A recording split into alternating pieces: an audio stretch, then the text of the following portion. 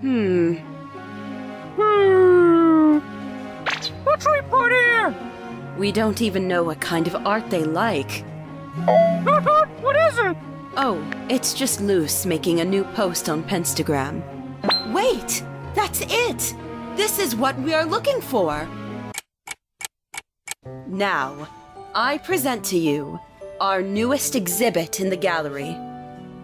The highest form of art in the human realm. Memes! Yay!